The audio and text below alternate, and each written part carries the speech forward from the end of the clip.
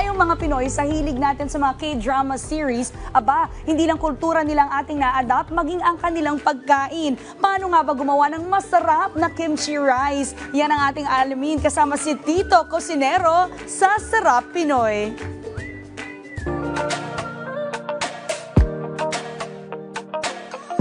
Rise and shine, Pilipinas, and welcome to Sarap Pinoy.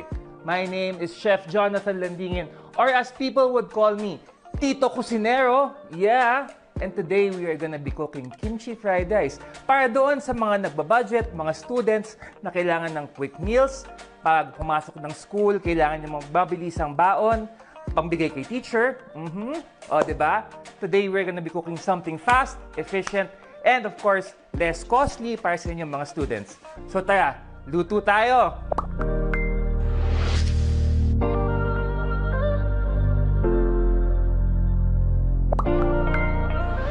So itong kimchi fried rice, no, bago tayo mag-start, ah, isang dish to na actually kinonceptualize ng wife ko. Inagaw ko lang sa kanya. Pero the premise is to create a dish na syempre papatok sa uso ngayon, which is K-pop, di ba? So, dito muna tayo. Nag-init tayo ng ating wok. Ayan, mas maganda gumamit ng wok. Kasi bakit? Para syempre lahat ng heat concentrated sa pagluluto, at the same time malalim siya, para pag nag-mix tayo ng rice later, walang tatapon masyado. So okay, start off with a bit of vegetable oil. And magigisa tayo ng mga vegetables and meat, we will just be using vegetable oil. Garlic tends to cook faster, so unahin muna natin yung onions natin.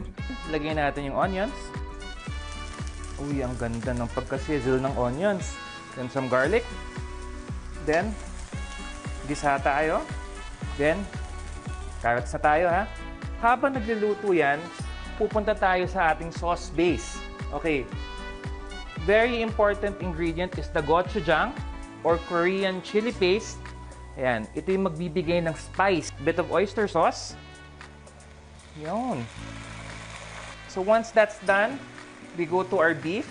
Okay, our beef is to be actually, kaya ganito yung color ng beef. It was already cooked overnight. Okay, and then uh, you can marinate this with some soy sauce and some garlic. So we're gonna throw this inside. So and then put in some cabbage here.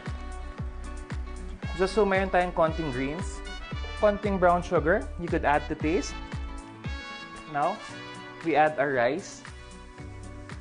And then of course, sesame oil. Black pepper. Yan. So sa finishing tayo, uh, you could use uh, spring onions, you could use leeks. Ganda ng onion leeks natin, no? This is around 1 and a half cups of rice.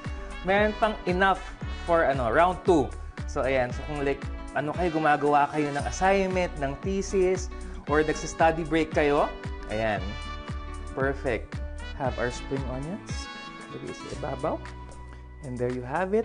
One of Tito Cocinero's or Chef Jonathan's specialty dishes, kimchi fried rice for those on a budget. Students or even the working class, if you want a quick dish na madaling lutuin, this is the way to go. Hmm.